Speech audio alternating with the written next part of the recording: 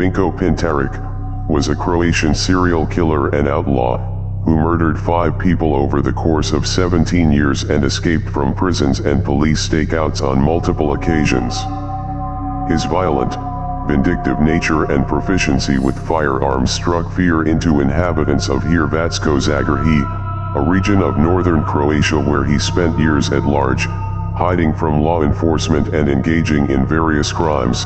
until his 1991 death in a shootout with the police.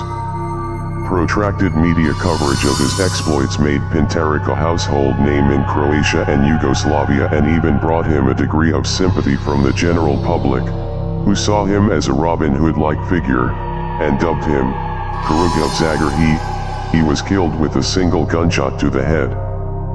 Pintarić is buried in the Lepoglava cemetery, in an unmarked grave.